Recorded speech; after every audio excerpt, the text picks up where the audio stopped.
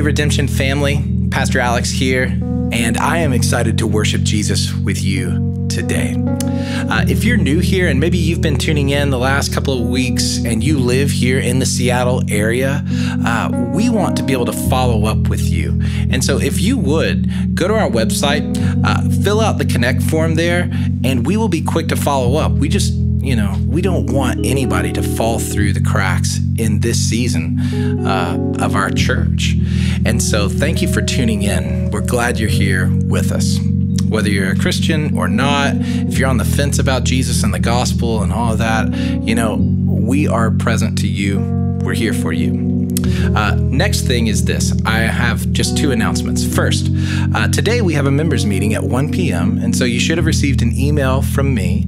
Uh, giving you the login details for that. We're not going to spend all afternoon online, but we will spend just a little bit of time together. Uh, I do want to just update you on a few things going on in and around Redemption Church. So that's today at 1 p.m.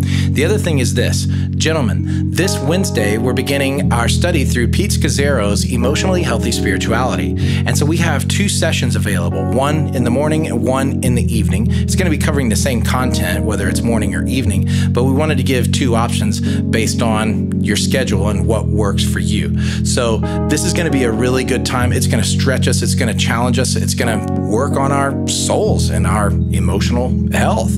And the reason why we're doing this study is because in the gospel, we're called not merely to, to just think, but to feel.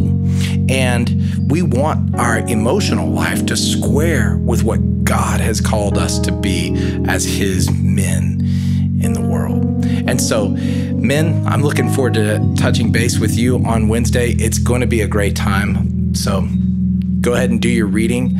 And um, if you have any questions about that, please just send me an email at alex at redemptionseattle.com. All right, so today we're going to do something a bit differently um, as we worship Jesus together.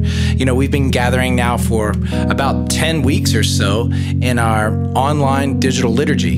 And so far, it's it seems to have gone pretty well. You know, we've received dozens and dozens of emails and texts and phone calls. People just saying, "Thank you for doing this. I'm growing," and you know, God is still working powerfully in our church, even as we gather together online. Um, at the same time, over the last ten weeks, many of us have spent I don't know, innumerable hours on screens television screens, phone screens, computer screens, oftentimes looking at another face on that screen that's talking back to us, giving us some kind of information that we need to, you know, assimilate and digest and respond to. And uh, today, we're going to do something a little different. Um, today, we are not going to have Dan lead us in worship the way he has been, where you see him on the screen. Uh, I am not going to be preaching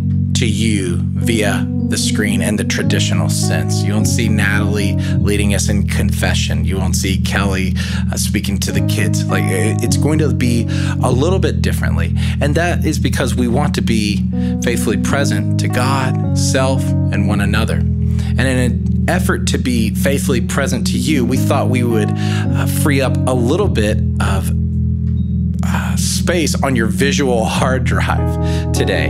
And so, if you have the letter that I wrote you, go ahead and go find that that you should have received in the mail. Go find that letter, open it up. I'm going to narrate that for you in a few minutes. Uh, and that in in that letter, it contains good news of comfort and encouragement in the gospel. Uh, if you did not receive that letter, but you want a copy of the letter from me to, to our people, that's also available at redemptionseattle.com. You can go there now. You can access that as a PDF there on our website. And so you can get that there as well. So, with that being said, we are going to take communion later in the service. We're going to sing to Jesus and we're going to hear the good news of the gospel. And so, in this moment, give your mind, your heart, your soul, a bit of breathing room. Make yourself available. Maybe one simple prayer to pray this morning would be this God, I am present to you. Thank you for being present to me. Let's begin our day.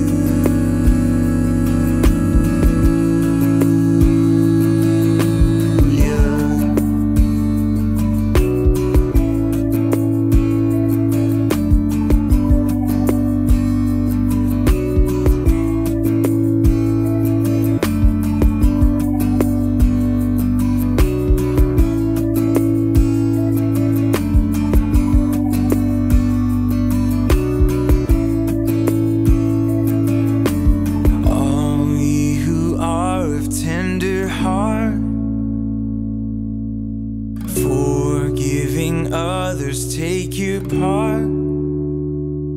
Oh, praise Him.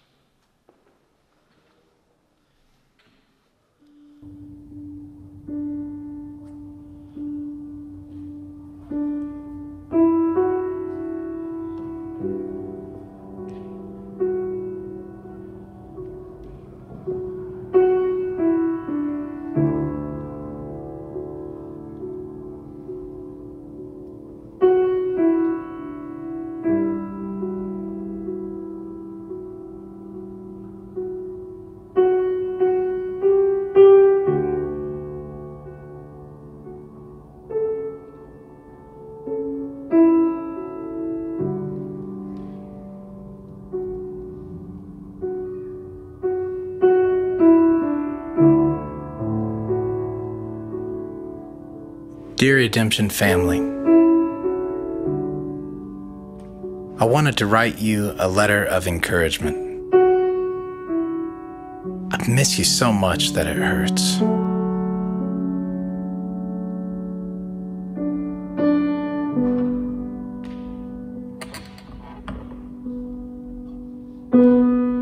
I think about you every single day. I pray for each of you by name. you know, I work out of my laundry room. it's cozy, but it's not the same.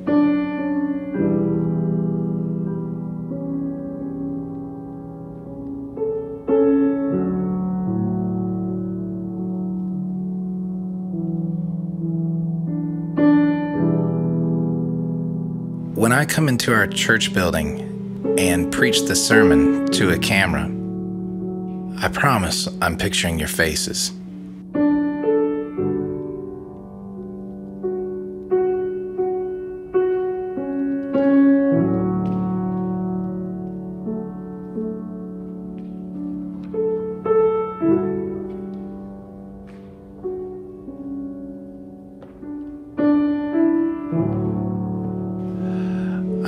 Of this technology can make things feel so impersonal.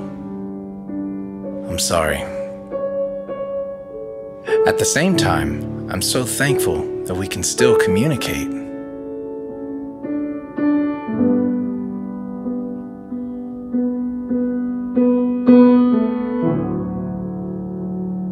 The writer of Hebrews instructs us in chapter 3 to encourage one another day after day.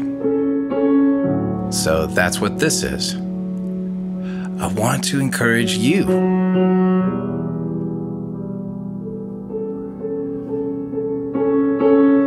The way I will is by reminding you of what God says about you.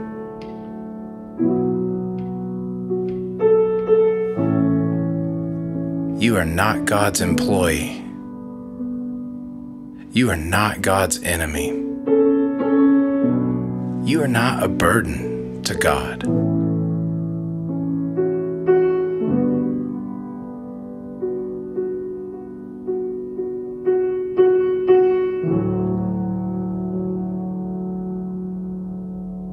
Like Abraham, you are the friend of God.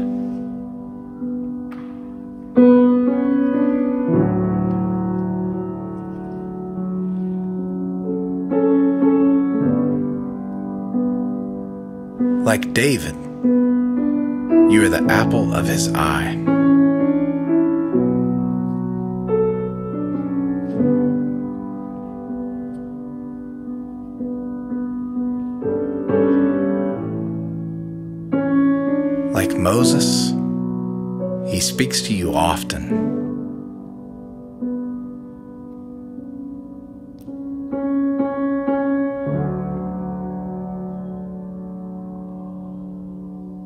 Like Job, he is there for you when it hurts and life seems too hard to go on.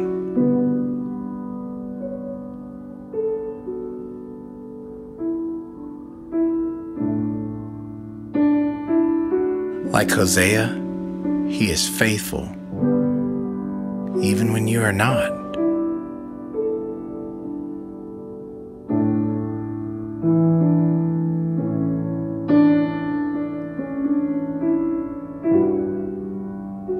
Peter, he gives you another chance and then another.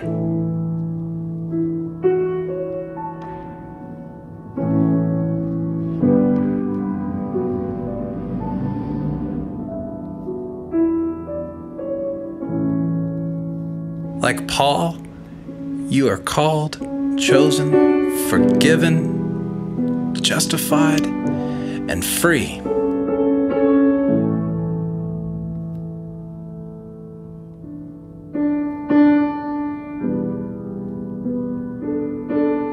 like John, you're the one Jesus loves. Oh, how Jesus loves. He loves you.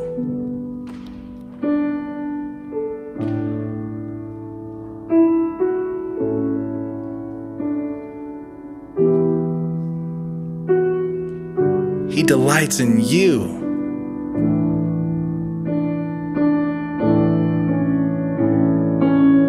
Likes you.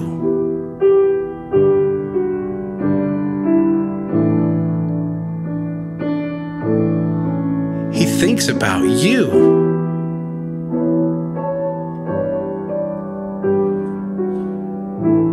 He prays for you.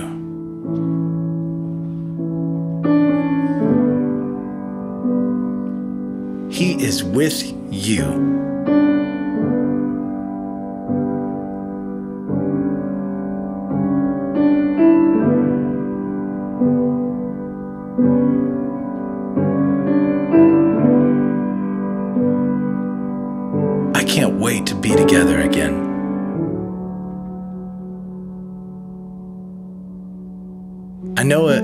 Feels like we are wandering a bit in the wilderness, but God is faithful.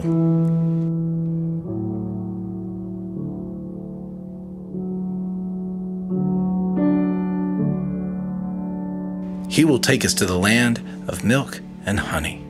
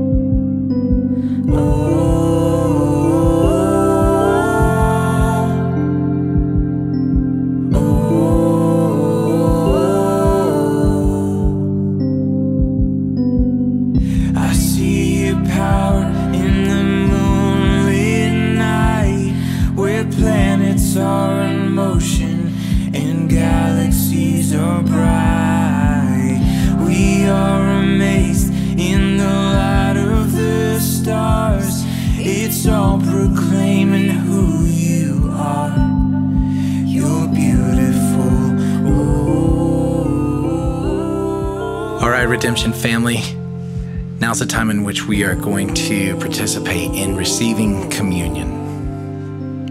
Everything you just heard read in that letter is true. It's not because it's my words, these are words that were penned down by the prophets and the apostles about the person and the work of Jesus. You see, our faith is not something that we merely speculate about or contemplate, but is something that is etched into history, Romans 5 8 says that God demonstrates his own love toward us in that while we were still sinners, Christ died for us. That Jesus did not wait for us to clean our act up before he would love us, but rather he saw us in our sin and gave himself for us.